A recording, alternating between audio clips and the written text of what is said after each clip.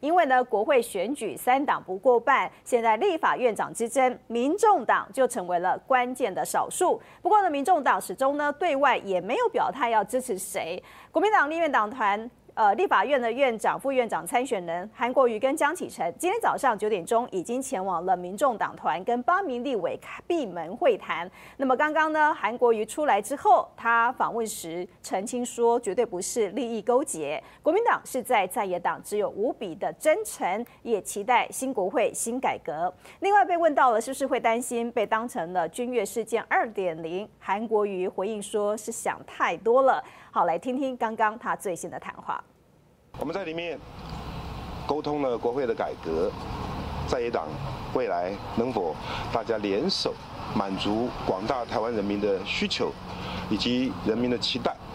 我们沟通的几乎是无话不谈，而且所有沟通的意见都说得非常的彻底。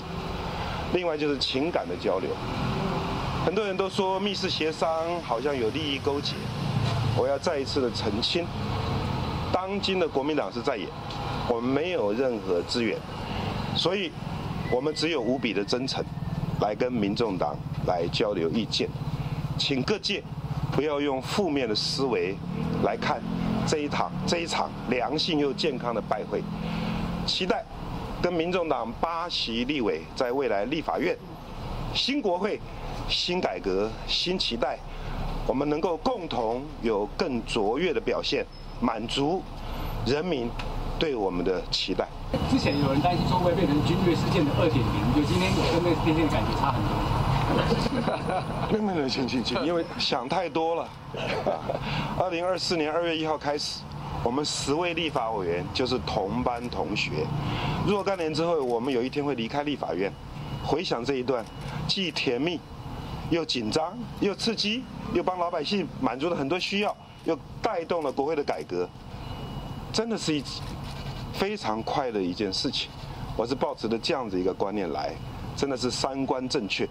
那也非常感谢国昌兄跟民众党的八位立委，也都同样能够接受这种感觉，这个很棒的，谢谢。那国会改革有谈到单一招委制这个部分？目呃没有。我们就谈到国昌兄所前面所提的四项改革，大家互动共识都非常的好，谢谢，那就这样子啊，谢谢大家。